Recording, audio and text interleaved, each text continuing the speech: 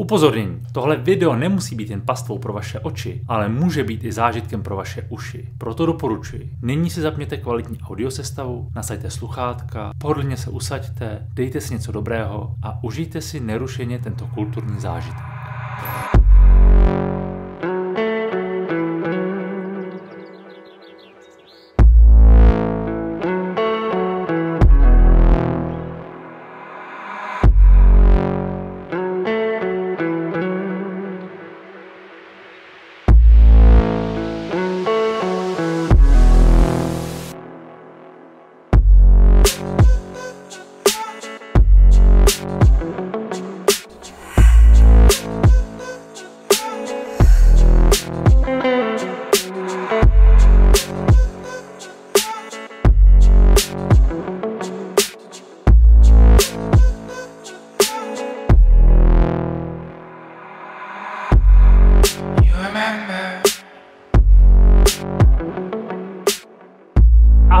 Zdravím, Petr Mára, nový video, tentokrát o hračce, na kterou jsem čekal snad dva nebo tři měsíce. Jmenuje se to Boosted Mini S, je to elektrický skateboard nebo chcete-li cruiser. A pojďme se nejdřív podívat na unpacking. Pojďme. Tak. Jo. Tak to je Boosted Mini. Jo, to je fakt mini. Doufám, že se na to vejdu se svýma 640 teda. Ale vypadá pěkně. Vypadá pěkně čistě. To je dobrý. To za chvíli asi pěkně ulítám, ale fakt pěkný. Pěkný detail. Jo, tady píšou bacha, dávejte si pozor, můžete umřít. To je dobrý vědět. Oh. Dálkový ovladač. Stejný jako u, u klasického boosted boardu.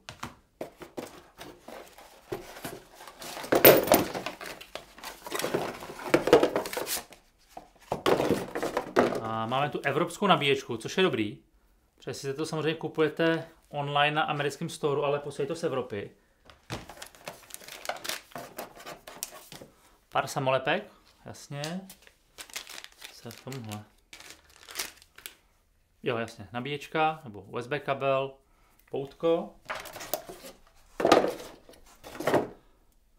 Aha, sada klíčů nebo nářadí na eventuální opravu nebo čištění. Ještě, že by návod. Tři kroky, jak začít jezdit. Fajn, zapnout, zapnout ovladač a jet. To zvládnu. a nějaký návody, bla, bla, bla, nabíjení, ježdění, to zvládneme. Super, jdeme jezdit. Co se týče elektrických skateboardů nebo longboardů, já je testuju poslední 3, 4, 5 měsíců. Já jsem zkušenost několika, teď testuju Mini S a Mini je v, principu jako skateboard. Není to longboard, je to mnohem menší, má mnohem menší tělo, vypadá údajně jako něco, co se jmenuje cruiser, má vzadu eh, tu patku nebo chce tady kicktail. A v principu oproti longboardu, moje první zkušenost je taková, že jak je to kratší, tak si na to musí dávat mnohem větší pozor, abyste nespadli. Já jsem na longboardu byl schopen jezdit až nějakých 40 km v hodině, někde jako na takovém okruhu, kde jsem se nebál to tahle rozjet a předjíždět cyklisty. Ale na Boosted Mini se rozhodně bojím víc, protože přímý vejš 190 cm a přitom jak daleko od sebe jsou ty kolečka, nebo chcete treky, tak musíte mít jednak nízký těžiště a jako jezdím na tom mnohem pomalejš. Tahle věc může jezdit něco přes 30 km, když jako jedete na plný výkon, což mě aktuálně ještě ani aplikace přes kterou to ovládám neumožňuje. Takže teď jezdím tak maximálně 25 a je to pro mě asi ta nejkomfortnější, řekněme, rychlost.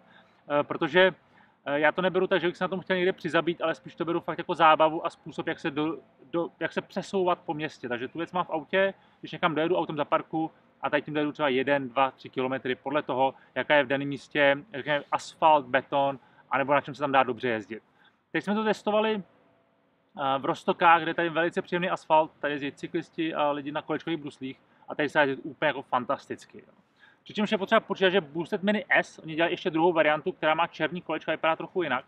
Co se týče koleček, hlavně výdrže, tak tady, ten, tady to Mini S je schopný dojet nějakých 10-11 km, což v principu stačí na to, abyste někam v klidu dojeli a eventuálně se vrátili domů a tam když tak dobili.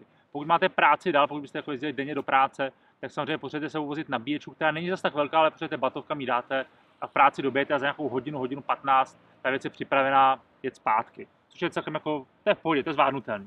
Co je super u tohohle oproti longboardu je ta dílka, jo, což zní jako logicky, ale on, když máte longboard a občas potřebujete někde přejít, tak nosit ten longboard je strašně nepraktický, jak je dlouhý, tak ho buď to chytnete za ten horní track a pak s podkem vlastně brousíte zem, anebo musíte říct jako do podpaží a vlastně se s tím nechodí moc fajn, když někde potřebujete přejít, řekněme úsek, kde jsou kočičí hlavy a fakt po nich nechcete jezdit. Výhoda tohohle je, že tím, jak je to krátký, tak to fakt vezmete takhle do ruky a těch 7 kg, který to má, zvládnete přenést 10, 50, 100 metrů a pak zase jedete dál. Čili tady v tom je to moc fajn. Super jsou ty velký kolečka, které mají 8 cm v průměru a tak jako ty drobné kamínky, které někde cestou potkáte, tak jste schopni ještě tohleto plus minus předvěst, aby vás to zabilo. To znamená, abyste ty kola zablokovali a letěli. Na tomhle skateu jste schopni vět i tak jako centimetr, centimetr a půl eh, nájezdy, které jsou normálně u chodníku. Takže s tím se dá před, je potřeba trošku jako nadskočit a nadlehčit ho, abyste se nezapíchli a neletěli, ale dá se to. Velký nebezpečí tyhle věci, a to jsem zjistil hned jako v prvních třech minutách, je ta patka. Protože když si blbě nastavíte nohy, a ty nohy v principu mají být nad těma šroubama na těch trekách, tak když je dáte dozadu a přidáte, tak ono na tom ovladači, jak přidáte dopředu, tak samozřejmě ten skate jde dopředu logicky. A on jako boostit má ten, ten ovladač nastavený hodně agresivně, hodně citlivě. Takže já jsem to vzal, měl jsem nohu na zadní pace, okamžitě jsem hodil zádáč, teďka mě z toho bolí zápěstí a mám jako sedřený bok. Ale jako velice rychle jsem se naučil, že musíte dát velký pozor na to, nedávat tu nohu na zadní patku. Tu zadní patku jste samozřejmě schopni použít, pokud potřebujete zatáčet, tak se s tím dá v malých rychlostech, velkých bych to asi nedělal, ale dá se s tím eventuálně jako modifikovat trošku směr. Přičemž ta věc se ovládá přes dálkový ovladač, který ani vlastně teďka nevím, jestli běží přes Bluetooth nebo přes Wi-Fi, pravděpodobně Bluetooth bych typoval spíš, kde vidíte, když tak nabití eh, toho boosted boardu, to znamená toho prkna, vidíte to, jak na tom je ten, ten ovladač a v podstatě to funguje tak, že zmáčknete tohleto tlačítko, to držíte celou dobu a pak tady tím kolečkem točíte nahoru a dolů. Nahoru rovná se chci dopředu, dolů rovná se chci do zádu. Čili když se chcete rozjet, musíte se naklonit dopředu a, a, a jet, protože jinak vás ta samozřejmě ta síla hodí do zádu a zrovna tak, když brzdíte, tak se musíte hodně, hodně zaklonit a pak začít brzdit. Má to pět, pět režimů, ve kterých můžete jezdit, od začátečníka, eko a pak tak jako expert a pak ještě tak jako sebevražední mody. Mně v principu ta aplikace nabízí jenom první tři, to znamená, já teď jezdím na eko a je to tak jako úplně nejvíc na pohodu a není to moc agresivní, moc citlivý. Teď jsem zkoušel experta a tam si fakt u toho rozjezdu musíte dávat pozor, protože jakmile s tím hejbnete o milimetr, ten skate na to reaguje a vy potřebujete jako těžiště a váhu dát dopředu, abyste neletěli. Trochu nevýhoda, dvě nevýhody tohohle, tohohle ovladače a toho nastavení. První věc, když začnete brzdit, tak ono to v podstatě brzdí, ale zároveň to dává zpětný chod. Takže vy si v podstatě můžete vybrat, když dáte tahle, tak jdete dozadu, když dáte tahle, tak jdete dopředu. Což je nebezpečné u toho bržení, protože vy dobrzdíte a tím, jak to držíte zpátky, tak to, to prkno vám pojede pod nohama. Což na jiných longboardech, který jsem testoval, je třeba jinak a tam jako opravdu jako brzdíte. A když chcete dát zpětný chod, tak musíte přepnout páčku na jiné části toho ovladače. Což mi přejde lepší. Tady to je trošku jako víc o hubu, že můžete fakt jako spadnout po tom, co dobrzdíte, protože občas musíte brzdit fakt hodně agresivně, že se fakt hodně zakloníte a dáte tam plnou brzdu, ale ten okamžik, kdy vy se zastavuje, tak najednou to prkno chytí sílu a jde do zádu. Druhá věc, která mi na tom vadí, je vlastně ten tvar, který se zužuje. A já mám docela velký ruce, takže když s tím jedu, tak mi pořád jako sjíždí prst dolů z toho ovladače. Jako, nikdy se mi nestalo, že se vypnu, ale je to taky jako nekomfortní. Používal jsem jeden od Board Mobile Longboard, který tady v podstatě měl otvor a v podstatě se do něj strčil ukazováček a ten ovladač vám prostě z ruky nespadl, byl to mnohem stabilnější. Tady to je tak jako trošku nekomfortní tím, jak je to malý.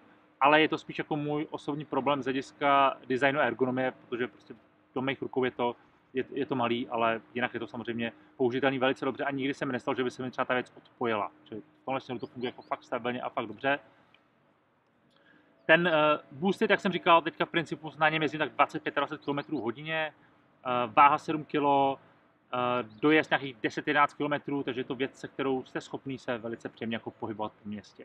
Co je důležité, je samozřejmě myslet na, na bezpečnost a já vím, že to může znít jako kliše, ale já jsem na YouTube viděl spoustu lidí, kteří se na tomhle fakt jako přizabili, někteří jako, se fakt jako zabili. Je, je to prostě nebezpečná záležitost. Já si uvědomuji to, že na tomhle se, když blbě spadnete na hlavu, takže jako helma je úplný základ a fakt bych byl opatrný. On člověk jako velice rychle získá pocit, že to strašně dobře umí a že mu to jde dobře a to získáte jako za hodinu, ale moc bych na tom nemachroval. Tyhle věci jsou fakt jako nebezpečné. Za mě třeba po městě je, mnohem, je koloběžka klasická elektrická mnohem bezpečnější než tohle. Tady je víc jako frajeř, to je víc zábava a tu jízdu se na tomhle fakt užijete. Je to fakt, fakt zábavný, ale zároveň je potřeba tam jako dávat bacha na to, co děláte.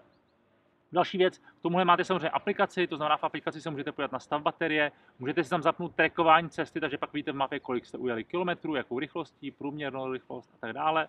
To sami jste schopni, nebo tu baterku jste schopni když tak vidět i na Apple Watch, což je taky, taky fajn, takže v telefonu k tomu máte jako partnerskou apku, která s tím funguje velice dobře a umožňuje vám ten, ten board jako trochu líp kontrolovat. Další důležitá věc, může se vám stát, že na cestě někde ten board vybijete, což se mi stalo teda u jiného longboardu, ale stalo se mi to.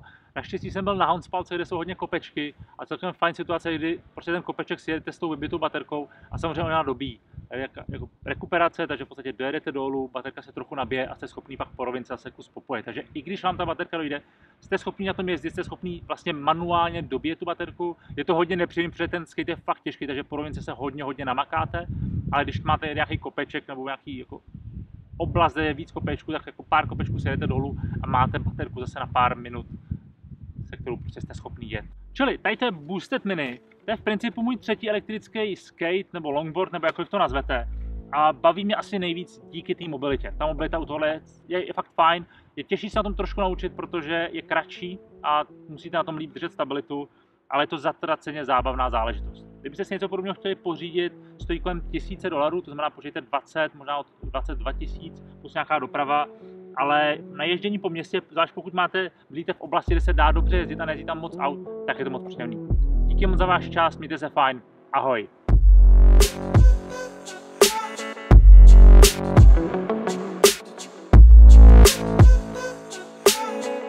A tady v principu to vypadá, když se chcete projet, já teď jdu na tu nejpomalejší rychlost, takže jsem schopen zvládnout, držet kameru a jet. Ale to je moc pomalý, takže já zkusím trošku přidat, počkejte. Když tak rychlost přidáváte, takže třikrát zmáčnete tlačítko a měníte jiný mod, teď už by to mělo jít rychlejší. Jo, to už je lepší. Jo, tady to už je, to už je super. Tím se dá fakt jako pěkně blbnout. Teď zkusím dát ten nejrychlejší mod.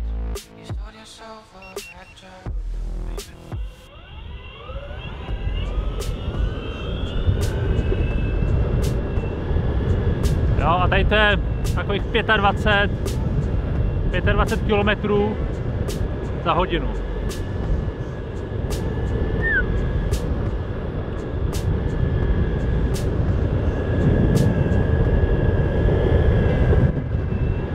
A když teďka budu chtít brzdit, tak musím do toho, musím se mnohem víc zaklonit.